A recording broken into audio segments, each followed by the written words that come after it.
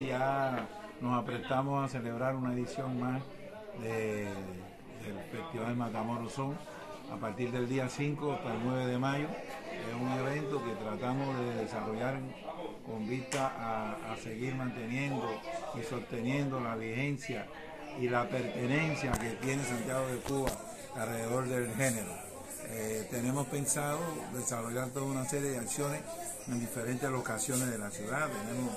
tenemos Carretera del Morro y Calle 3, tenemos la Plaza de Marte, la calle Heredia, tenemos también la explanada del Río llamada ahora Ferreiro, y así como también áreas cerradas como el Salón de los Grandes, el Salón del Sol, la Pachanga y, los patios de Artés. Es bueno también significar que se realizarán algunas actividades colaterales a esta, como el evento teórico que se va a desarrollar en, la Casa Baranquí es una casa que se ha dedicado a promover la, cultura santiaguera y cubana, así como también tenemos, tenemos la, la, intención de hacer un desfile el día 5 a las 9 de la mañana, un grupo de artistas y alumnos de la enseñanza artística, vamos a rendirle tributo al Matamoros, su monumento,